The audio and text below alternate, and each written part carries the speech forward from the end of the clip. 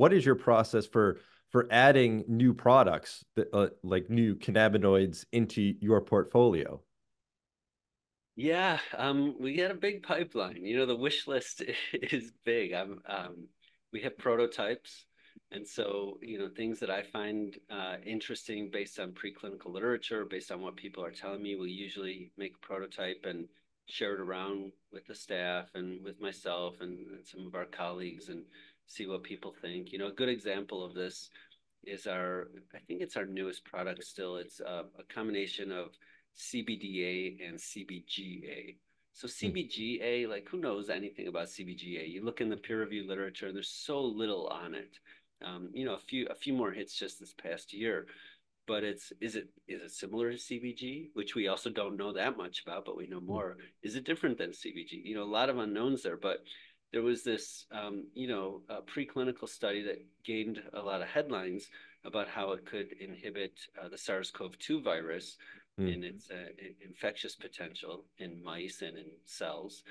And so we thought, well, you know, w- we've seen such impressive results with the acidic cannabinoids, the THCA and the CBDA. It kind of makes sense for us to explore CBGA next. Let's see what it does.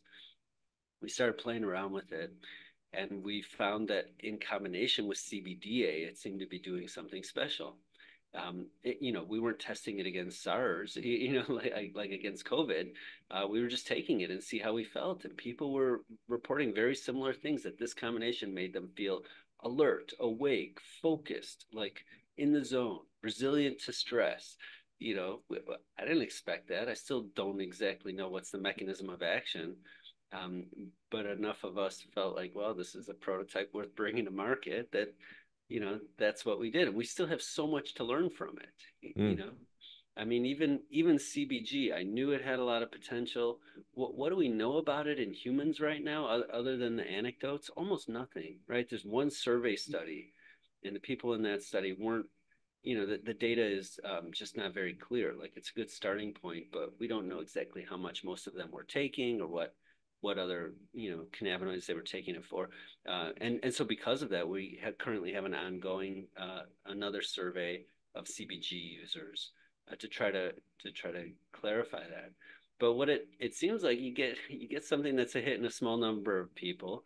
You allow other kind of cannabis uh, enthusiasts to to start using it. And then before too long we've got some signals that are worth following.